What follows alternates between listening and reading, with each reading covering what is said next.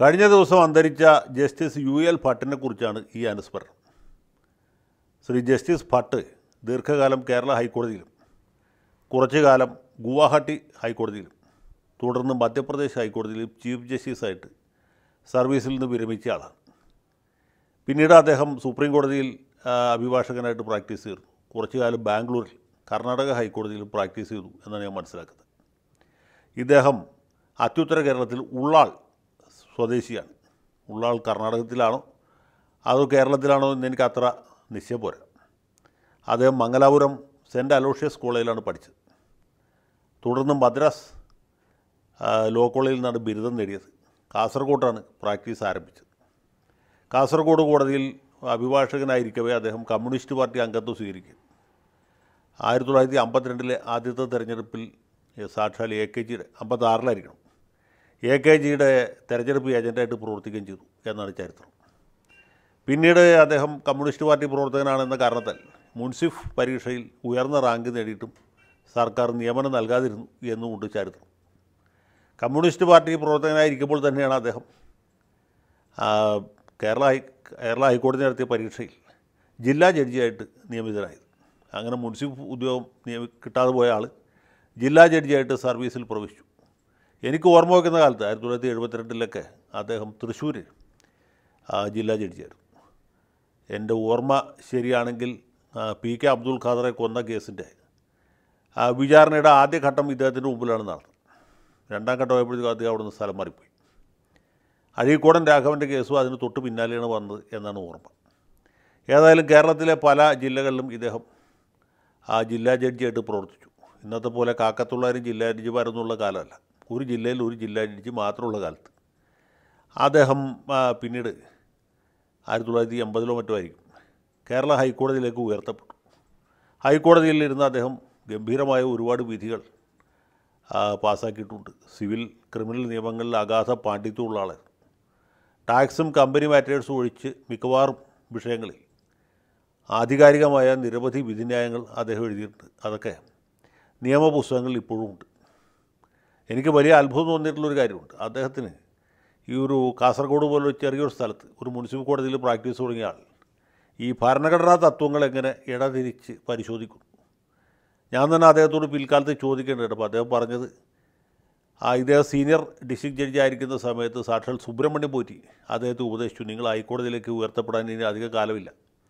അപ്പോൾ ഇവിടെ വരുമ്പോൾ ഈ ഭരണഘടന നല്ല ഗ്രാഹ്യത്തോടു കൂടി ഒന്ന് വരാൻ. അതുകൊണ്ട് ഇന്ന പുസ്തകം കവർ ടു കവർ വായിക്കണം. വായിച്ച് കാണാതെ പഠിക്കണം. അത് പഠിക്കാതെ ഇവിടെ വന്നിട്ട് ഒരു കാര്യവുമില്ല. എന്ന് നിർദ്ദേശിച്ചു അതിന്റെ അടിസ്ഥാനത്തിൽ. അത് പഠിച്ച് പ്രാവീണ്യം നേടിയതിന് ശേഷമാണ് അദ്ദേഹം ഹൈക്കോടതിയിൽ വന്നത് എന്ന് പറഞ്ഞായിട്ട് ഓർമ്മിക്കുന്നു. ഏതായാലും ഈ ഒരു മുനിസിപ്പൽ കോടതിയിൽ നിന്ന് തുടങ്ങിയ ആൾക്ക് ഇത്രയും കൃത്യമായിട്ട് ഈ കാര്യങ്ങൾ ഇടതിരിച്ച് പരിശോധിക്കാനും ഗംഭീരമായ വിധികൾ പാസ്സാക്കാനും കഴിയും എന്ന് അദ്ദേഹം തെളിയിച്ചു. സാധാരണ ഇതിൽ ഒരു ജില്ലാ ജഡ്ജി പ്രൊമോട്ട് ചെയ്ത് വരുന്ന ആൾക്ക് അങ്ങനെ പറ്റിക്കൊള്ളുന്നില്ല. അതുകൊണ്ടാണ് ഞാനിത് എടുത്തു പറഞ്ഞത്. അങ്ങനെ വലിയ പ്രതാപത്തിൽ ഇരിക്കുന്ന സമയത്ത് ഞാൻ അദ്ദേഹത്തെ കാണുന്നത് ആയിരത്തി തൊള്ളായിരത്തി എൺപത്തൊമ്പത് തൊണ്ണൂറ് കാലത്താണ്. അദ്ദേഹം മൂന്നാം നമ്പർ കോടതിയിൽ പഴയ ഹൈക്കോടതി കെട്ടിടത്തിലെ മൂന്നാം നമ്പർ കോടതിയിൽ ആ ജസ്റ്റിസ് കൃഷ്ണമൂർത്തിയുടെ കൂടെ ഈ ഡിവിഷൻ ബെഞ്ചായിരുന്ന് നീതി നടപ്പാക്കിക്കൊണ്ടിരിക്കുന്ന സമയത്ത് ഒരു ദിവസം ഞാൻ ആ കോടതിയിലേക്ക് കയറി ചെല്ലുമ്പോൾ വെറുതെ പോയതാണ്. പ്രത്യേകിച്ച് അവിടെ എന്തെങ്കിലും ചെയ്യാനായിട്ട് പോയതല്ല. അവിടെ ഒരു അമ്പത് അമ്പത്തഞ്ച് വയസ്സ് പ്രായമുള്ള വനിതാ അഭിഭാഷക കേസ് വാദിക്കുക. ഇ എസ് ഐ കോർപ്പറേഷനാണ് ആ കേസിലെ അപ്പീൽ വാദി. എതിർകക്ഷിക്ക് നോട്ടീസ് പോയിട്ടില്ല. കേസിന്റെ ചുരുക്കം ഇതാണ്. ഒരു അപകടത്തിൽപ്പെട്ട് രണ്ട് കണ്ണും രണ്ട് കണ്ണിന്റെയും കാഴ്ച നഷ്ടപ്പെട്ട ആളാണ് എതിർകക്ഷി. അദ്ദേഹത്തിന് പറ്റിയ അപകടം. അത് പരിപൂർണമായ അപകടമാണ് പെർമനന്റ് ടോട്ടൽ ഡിസബിലിറ്റിയാണ് നൂറ് ശതമാനം ഡിസബിലിറ്റിയാണ് എന്നാണ് താഴെ കോടതി കണ്ടെത്തിയിട്ടുള്ളത്. ഈ ഇ എസ് ഐ കോടതിയുടെ കണ്ടെത്തൽ. അതിനെതിരെ കോർപ്പറേഷന്റെ അപ്പീലാണ്. അപ്പോൾ ഈ അഭിഭാഷക പറയുന്നത് രണ്ട് കണ്ണിനും കാഴ്ചയില്ല എന്ന് വെച്ചാൽ അയാൾക്ക് മറ്റ് പല ജോലികളും ചെയ്യാം എന്നാണ്. അപ്പോൾ ജസ്റ്റിസ് ഭട്ട് പറഞ്ഞു ഒരു മിനിറ്റ് ഒന്ന് വെയിറ്റ് ചെയ്യൂ. ഞാനൊരു ചോദ്യം ചോദിക്കുക അതിന്റെ ഉത്തരം പറയണം. രണ്ട് കണ്ണിനും കാഴ്ചയില്ലാത്ത ഒരാൾക്ക് ചെയ്യാവുന്ന ഒരു മൂന്ന് ജോലികൾ പറയൂ. ഇദ്ദേഹം പറയുന്നത് ഈ മലയാളമല്ല കന്നഡവുമല്ല തുളുവുമല്ലാത്തൊരു ഭാഷയിലാണ്. അങ്ങനെ അദ്ദേഹത്തിന്റെ അത്യുത്തര കേരളത്തിലായതുകൊണ്ട് മലയാള ഭാഷ അത്ര വശമല്ല. എന്നിട്ട് പറഞ്ഞു of course he can beat others അയാൾക്ക് മറ്റുള്ളവരെ അടിക്കാൻ പറ്റും. അത് കൂടാതെ മൂന്നെണ്ണം പറയൂ എന്ന് പറഞ്ഞു. ഈ അഭിഭാഷക ആലോചിക്കാൻ തുടങ്ങുമ്പോഴത്തേക്കും അദ്ദേഹം ആ സ്റ്റെനോഗ്രാഫറെ വിളിച്ചിട്ട് അപ്പീൽ ഡിസ്മിസ് ചെയ്തു. എന്നിട്ട് പറഞ്ഞു we are all fortunate people having both eyes ഇവിടെ രണ്ട് കണ്ണിനും കാഴ്ച നഷ്ടപ്പെട്ട ഒരാൾ ഈ കോടതിയുടെ മുമ്പിൽ വരികയാണ്.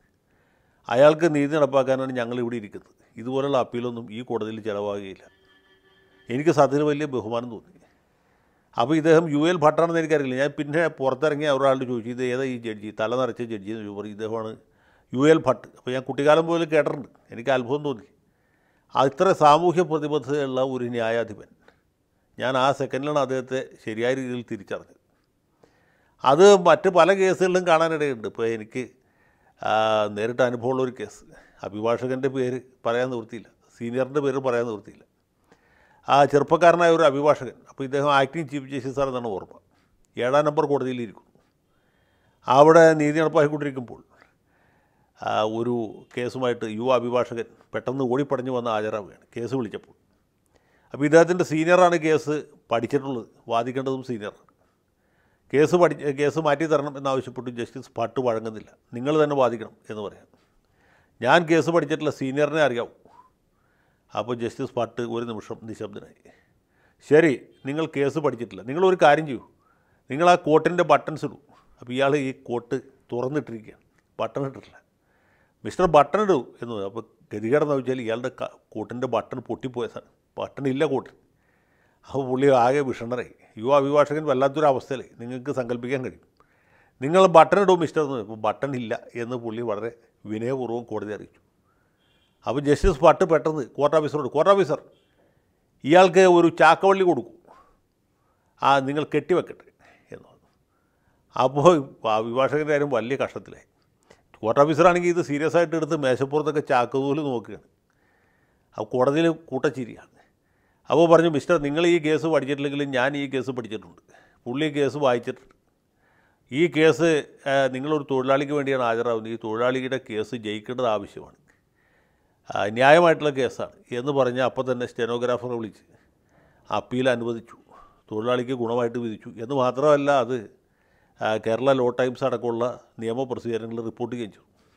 ഇതായിരുന്നു ജസ്റ്റിസ് പാട്ട്. വക്കീൽ പഠിച്ചാലും പഠിച്ചില്ലെങ്കിലും എന്ത് തന്നെ പറഞ്ഞാലും കോർട്ടിന്റെ ബട്ടൺ ഇട്ടാലും ഇട്ടില്ലെങ്കിലും അദ്ദേഹം നീതി നടപ്പാക്കും എന്ന കാര്യത്തിൽ യാതൊരു വിട്ടുവീഴ്ചയും ഉണ്ടായിരുന്നില്ല.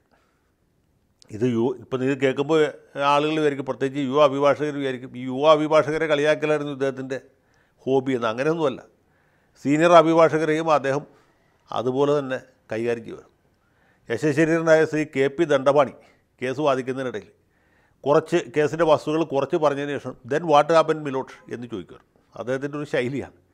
അത് അധികം ആളുകൾ ശ്രദ്ധിക്കില്ല. കാരണം ദണ്ഡപാണി മനോഹരമായിട്ട് വാദിക്കുന്നതിനിടയ്ക്ക് ദെൻ വാട്ട് ആപ്പൻ മിലോട്ട് എന്ന് ചോദിക്കുന്ന ഒരു രീതി ഉണ്ടായിരുന്നു ഇത് പക്ഷേ ജസ്റ്റിസ് ഭട്ട് ഇത് ശ്രദ്ധിച്ചു. ഒരിക്കൽ ദണ്ഡവാണി വാദിച്ചിങ്ങനെ വരുമ്പോൾ ശ്വാസം വിടാനായിട്ട് ഒരു സെക്കൻഡ് നിർത്തിയപ്പോൾ ജസ്റ്റിസ് ഭട്ട് ചോദിച്ചു then what happen mister Dandavani ആ കോടതിയിലുള്ള എല്ലാവരും കൂടി കൂട്ടച്ചിരി. ദണ്ഡപാണിക്ക് ചിരി അടക്കാൻ പറ്റിയില്ല. കാരണം ആ ഒരു ശൈലി ഇദ്ദേഹം കണ്ടുപിടിക്കുകയും ആദ്യം കിട്ടിയ അവസരത്തിൽ തന്നെ അത് വെച്ച് തിരിച്ചടിക്കുകയും ചെയ്തു എന്നുള്ളതാണ്. ഇനി എത്ര വലിയ കൊല കൊമ്പനാണെങ്കിലും ശരിയാണ്. അദ്ദേഹത്തിന്റെ നിശിതമായ ആ വിശകലനത്തിൽ നിന്നോ ഈ വെടിയുണ്ട പോലെ വരുന്ന ചോദ്യങ്ങളിൽ നിന്ന് രക്ഷപ്പെടാൻ പറ്റുകയില്ല അതിന്റെ ഒരു ഉദാഹരണം വിഖ്യാതമായ പള്ളിക്കേസ് മലങ്കര സഭയിലെ മെത്രാൻ കക്ഷിയും ബാബ കക്ഷിയും തമ്മിലുള്ള കേസ്. ഏഴാം നമ്പർ കോടതിയിൽ തന്നെ വാദം നടക്കുന്ന സമയത്താണ് ജസ്റ്റിസ് ചന്ദ്രശേഖര മേനോന്റെ മെത്രാം മെത്രാൻ കക്ഷി കൊടുത്ത അപ്പീലാണ്. അപ്പീൽ വാദിക്കുന്നത് ചെറിയ ആളൊന്നുമല്ല ഫാലിയസ് നരിമാനാണ്. ഈ അടുത്ത കാലത്ത് ദിവംഗതനായ ആ മഹാപണ്ഡിതനും ഭരണഘടനാ വിദഗ്ധനുമായ ഫാലിയസ് നരിമാൻ വന്നിരിക്കുകയാണ്. നരിമാൻ വന്ന് കൺസ്ട്രക്റ്റീവ് റെസ്റ്റുഡിക്കേറ്റ എന്ന് പറഞ്ഞ ഭയങ്കരമായ പോയിന്റ് ആർഗ്യുകയാണ്. ആ സമയത്ത് ജസ്റ്റിസ് ഭട്ടും ബാലനാരായണ വാര്യരുമാണ് ആ കേസ് കേൾക്കുന്നത്. ഭട്ടിന്റെ ഈ പുരികം ഇങ്ങനെ ഉയരുകയും താഴുകയും ചെയ്തു തുടങ്ങി. അത് വളരെ ഗുരുതരമായ ഭാഗങ്ങൾ കേൾക്കുമ്പോൾ അങ്ങനെ ഒരു മാനറിസം അദ്ദേഹത്തിനുണ്ടായിരുന്നു. അതിന്റെ അർത്ഥം ഉടനെ തന്നെ ഭയങ്കരമായൊരു ചോദ്യം വരുന്നുണ്ട് എന്നുള്ളതാണ്. ആ ജസ്റ്റിസ് ഭട്ട് അവിടെ ഇരുന്നുകൊണ്ട് ഈ പറഞ്ഞ പോലെ വെടിയുണ്ട പോലൊരു ചോദ്യം വായിക്കുകയാണ്. അതിൽ നരിമാൻ ഇരുന്നു പോയി എന്നുള്ളതാണ് ചരിത്രം. എന്നോട് ഈ മലങ്കര സഭയിൽപ്പെട്ട മെത്രാൻ കക്ഷിക്കാരൻ തന്നെ ഒരു വക്കീൽ പറഞ്ഞത് നരിമാനെ ഞങ്ങൾ കൊണ്ടുവന്ന് മൂന്ന് പോയിന്റ് ആർഗ്യുവാനാണ് ആ മൂന്ന് പോയിന്റിൽ ഞങ്ങൾ തോറ്റുപോയി എന്നാണ്. പിന്നെ മറ്റു പോയിന്റിൽ അവർ ജയിച്ചു. അത് വേറെ കാര്യം.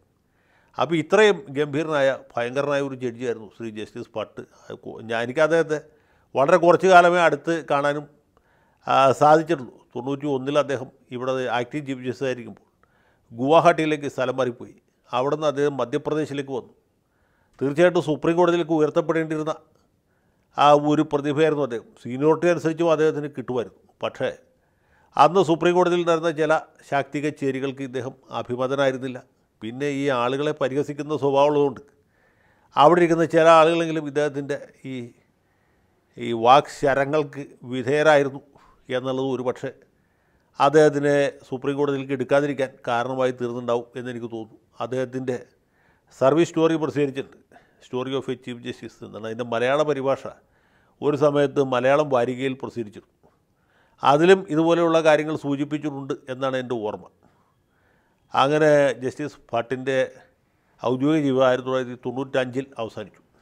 സുപ്രീം കോടതിയിലേക്ക് ഉയർത്തിരുന്നെങ്കിൽ മൂന്ന് കൊല്ലം കൂടി കിട്ടുമായിരുന്നു. അറുപത്തഞ്ചിലാണ് പിരിയേണ്ടത്. അങ്ങനെ സർവീസിൽ നിന്ന് വിരമിച്ചതിന് ശേഷം അദ്ദേഹം ഈ ഗോൾഡ് കൺട്രോളുമായി ബന്ധപ്പെട്ട ഒരു അപ്പലേറ്റ് അതോറിറ്റിയുടെ പ്രസിഡന്റായിട്ട് കുറച്ചാൾ പ്രവർത്തിച്ചു. അത് കഴിഞ്ഞിട്ടാണ് പിന്നെ സജീവമായ പ്രാക്ടീസിലേക്ക് തിരിച്ചു വന്നത്. ഇനി ഒരു കാര്യം കൂടി പറയുന്നത് കേൾക്കുമ്പോൾ ആത്മപ്രശംസ എന്ന് വിചാരിക്കരുത്. അദ്ദേഹം വല്ലപ്പോഴുമൊക്കെ എന്നെ വിളിക്കുമായിരുന്നു. ഇദ്ദേഹം സി പി ഐക്കാരനായിരുന്നു നേരത്തെ പറഞ്ഞല്ലോ. അദ്ദേഹം ജഡ്ജി ആയിരിക്കുന്ന സമയത്തും പാർട്ടി അനുഭാവിയായിരുന്നു. പാർട്ടി മെമ്പർഷിപ്പ് പൂർണമായിട്ട് ഉപേക്ഷിച്ചിരുന്നില്ല എന്നൊക്കെ പറയുന്നത് കേട്ടിട്ടുണ്ട്. എനിക്കറിയില്ല. പാർട്ടിക്ക് ലവി കൊടുത്തിരുന്നു എന്ന് കേട്ടിട്ടുണ്ട്. അതിനെക്കുറിച്ചും എനിക്കറിയില്ല. കേൾവി മാത്രമാണ്. ഏതായാലും അദ്ദേഹം മരിക്കുന്നവരും കമ്മ്യൂണിസ്റ്റുകാരനായിരുന്നുള്ളതിൽ യാതൊരു സംശയമില്ല അദ്ദേഹം ഇടയ്ക്കൊക്കെ ഫോണിൽ വിളിക്കുകയും ആ വിളിക്കുന്നതൊക്കെ പ്രത്യേക രീതിയിലാണ്. അഡ്വക്കേറ്റ് ജയശങ്കർ അല്ലേ അത് മറ്റേ തുളുവല്ല മലയാളമല്ലാത്ത ഭാഷയിലാണ്. ഇത് ബാംഗ്ലൂരിൽ നിന്ന് യു എൽ ഭട്ട് എന്ന് പറഞ്ഞ വന്യവയോധികനായ ഒരു പഴയ ജഡ്ജിയാണ്. ജയശങ്കർ സാർ തിരക്കിലാണു. ഇങ്ങനെ ചോദിക്കുമ്പോൾ ഞാൻ ഒരു തിരക്കില്ല സാർ പറഞ്ഞു. പിന്നെ അദ്ദേഹം പറയുന്നതൊക്കെ രാഷ്ട്രീയത്തെക്കുറിച്ചായിരിക്കും അല്ലെങ്കിൽ കോടതിയിലെ കാര്യങ്ങളെക്കുറിച്ചിട്ടായിരിക്കും അങ്ങനെ വളരെ സ്നേഹസമ്പന്നനായ ഒരു കാരണവരെ പോലെ ആയിരുന്നു. അവസാന കാലത്ത് കഴിഞ്ഞ ഒരു കൊല്ലമായിട്ട് അദ്ദേഹം വിളിച്ചിരുന്നില്ല. ഇദ്ദേഹം വിളിക്കുന്നില്ലല്ലോ എന്ന് ഞാൻ മനസ്സിൽ വിചാരിക്കുമ്പോഴാണ് മരണവാർത്ത എത്തിയത്. മഹാനായ ന്യായാധിപന്റെ ഓർമ്മയ്ക്ക് മുമ്പിൽ ആദരാഞ്ജലി അർപ്പിക്കുന്നു. ഈ മലയാള മനോരമയിലും മാതൃഭൂമിയിലൊക്കെ ജസ്റ്റിസ് ഭട്ടിനെക്കുറിച്ച് അദ്ദേഹത്തിന്റെ നിര്യാണത്തെക്കുറിച്ച് സിംഗിൾ കോളം വാർത്തയാണ് വന്നത്. അദ്ദേഹത്തിന്റെ സർവതോമുഖമായ കഴിവുകൾ അംഗീകരിക്കാൻ നമ്മുടെ പത്രങ്ങൾ തയ്യാറല്ലാത്തതല്ല എന്നെനിക്ക് തോന്നുന്നു. കാരണം ഈ തെരഞ്ഞെടുപ്പിന്റെ തിരക്കായതുകൊണ്ട് മന്ത്രിസഭാ രൂപീകരണവും സുരേഷ് ഗോപിയൊക്കെ ഉള്ളതുകൊണ്ടായിരിക്കും ജസ്റ്റിസ് ഭട്ട് പിന്തള്ളപ്പെട്ടു പോയത് എന്ന് ഞാൻ വിചാരിക്കുന്നു.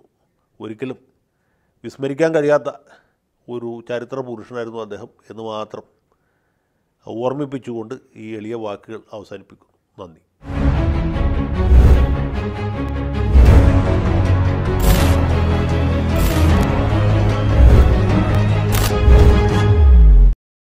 കൂടുതൽ വാർത്തകളും വിശേഷങ്ങളും നിങ്ങളിലേക്ക് എത്താൻ A B C Malayalam subscribe ചെയ്യുക ബെൽബട്ടനും അമർത്തുക.